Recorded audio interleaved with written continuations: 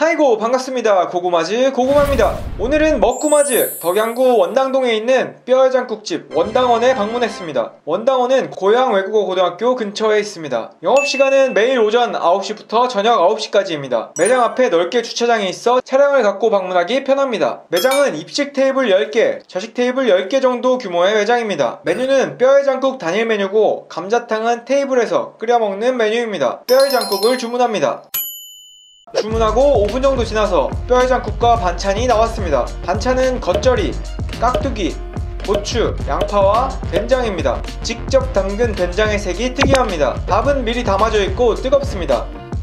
테이블에 있는 소스를 소스 그릇에 담아줍니다. 뼈해장국 위에 우거지가 있습니다. 우거지 위에 빨간 양념장이 특이합니다. 뼈 1번입니다. 살이 많이 붙어 보입니다. 크기는 주먹만 합니다. 뼈 2번입니다. 뼈 1번보다 크기가 큽니다. 뼈 3번입니다. 크기가 뼈 1번만 한 것 같습니다. 뼈 1번부터 꺼내서 발라줍니다. 젓가락으로만 긁어도 살이 잘 떨어집니다. 소스를 찍어 먹습니다. 발라진 고기를 소스에 찍어 먹습니다. 고기가 부드럽게 씹힙니다. 발라진 고기를 듬뿍 집어 먹습니다. 고기는 소스를 찍지 않아도 간이 배 있습니다.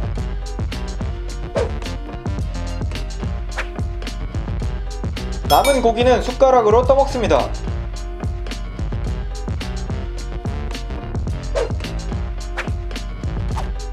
우거지를 먹어봅니다. 우거지는 잘 삶아져 질긴 부분 없이 씹힙니다. 우거지가 국물을 머금고 있어 촉촉합니다.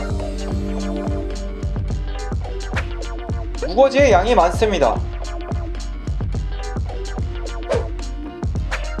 우거지입니다. 질긴 부분이 없어 좋습니다. 우거지 마무리입니다. 뼈 3번입니다. 젓가락으로 살을 발라줍니다. 뼈에서 살이 부드럽게 발라집니다. 뼈 3번에서 나온 고기는 이만큼입니다. 뼈에서 바른 고기를 소스 없이 먹습니다. 고기를 소스에 찍어 먹습니다. 고기를 듬뿍 집어 먹습니다. 남은 고기는 숟가락으로 떠서 먹습니다. 뼈 3번 고기 마무리입니다.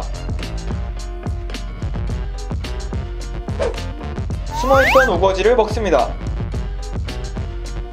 뼈 2번 고기는 발라서 밥과 함께 먹기로 합니다. 젓가락으로 살을 발라줍니다. 뼈 2번에서 나온 고기를 모두 국물에 담아줍니다. 남은 밥을 국물에 말아줍니다.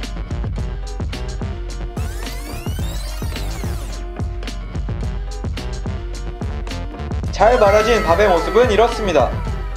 크게 한 입 떠먹습니다. 고기를 담아 듬뿍 떠먹습니다. 우거지와 고기가 따라 올라옵니다. 우거지와 함께 떠먹습니다. 고기와 함께 떠먹습니다.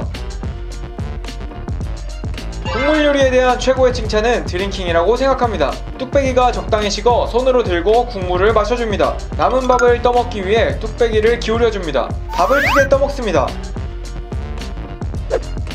밥을 거의 다 먹었습니다. 남은 밥을 싹싹 긁어 떠먹습니다. 원당원 뼈해장국 후기는 빈 그릇으로 대신합니다.